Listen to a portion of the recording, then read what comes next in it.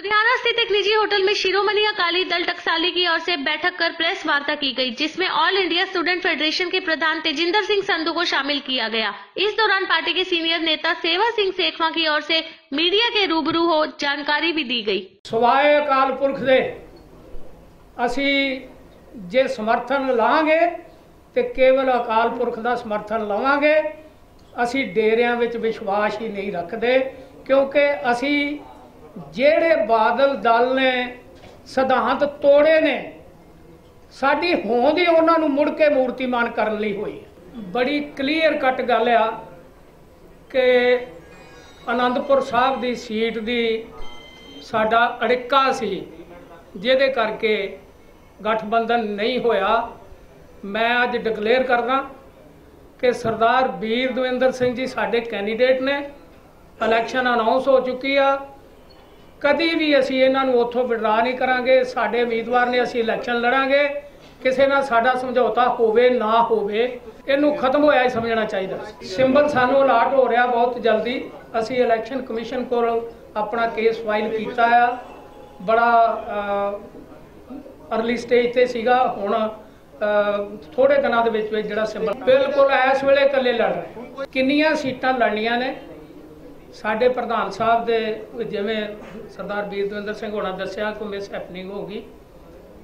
ਇਸ ਕਰਕੇ 2-4 ਦਿਨ ਬਾਅਦ ਅਸੀਂ ਮੀਟਿੰਗ ਕਰਕੇ ਪਾਰਟੀ 'ਚ ਫੈਸਲਾ ਕਰਾਂਗੇ ਕਿ ਕਿੰਨੀਆਂ ਸੀਟਾਂ ਆਪਣੇ ਪੰਜਾਬ 'ਚ ਸਾਨੂੰ ਲੜਨੀਆਂ ਨੇ।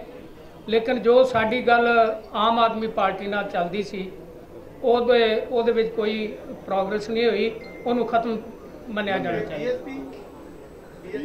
ਬੀਐਸਪੀ ਤੇ ਉਹ ਅਲਾਈਅੰਸ ਦੇ ਨਾਲ ਆ ਨਾ।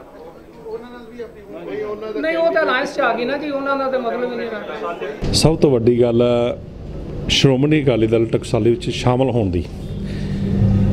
ਸਿੱਖਾਂ ਦਾ ਇੱਕੋ ਹੀ ਗੁਰੂ ਹੈ ਦਸਮ ਗੁਰੂ ਸ੍ਰੀ ਗੁਰੂ ਗ੍ਰੰਥ ਸਾਹਿਬ। ਉਹਦੀ ਬੇਅਦਬੀ ਸ਼੍ਰੋਮਣੀ ਅਕਾਲੀ ਦਲ ਸਰਕਾਰ ਵੇਲੇ ਹੋਈ। ਬਰਗਾੜੀ ਬਾਈਬਲ ਕਲਾਂ ਜਿਹਦੇ ਅਜੇ ਵੀ ਦੋਸ਼ੀ ਘੁੰਮ ਰਹੇ ਨੇ। ਫ੍ਰੀ ਘੁੰਮ ਰਹੇ ਨੇ ਉਹਨਾਂ ਨੂੰ ਨੱਥ ਪਾਉਣ ਵਾਲਾ ਕੋਈ ਨਹੀਂ। ਤੇ ਸਿੱਖਾਂ ਦੇ ਹਿਰਦੇ ਬਲੁੰਦਰੇ ਗਏ। All India Sikh student federation ਦੇ ਵੀ ਹਿਰਦੇ ਬਲੁੰਦਰੇ ਕਿ ਉਹ ਸਿੱਖ ਧਰਮ ਨਾਲ ਸੰਬੰਧਿਤ ਰੱਖਦੇ ਆ। All India Sikh student federation Shiromani Akali ਦਾ ਹਰਿਆਵਲ ਦਸਤਾ ਹੈ। ਪਰ ਜਦੋਂ ਅਸੀਂ ਮਹਿਸੂਸ ਕੀਤਾ ਵੀ ਜੇ ਸਾਡੀ ਪਾਰਟੀ ਦੇ ਵਿੱਚ ਨਿਆਂ ਨਹੀਂ ਨਾ ਮਿਲਣਾ, ਤੇ ਇਹੋ ਜਿਹੀ ਪਾਰਟੀ ਨਾਲ ਜੁੜਨ ਦਾ ਕੋਈ ਫਾਇਦਾ ਨਹੀਂ।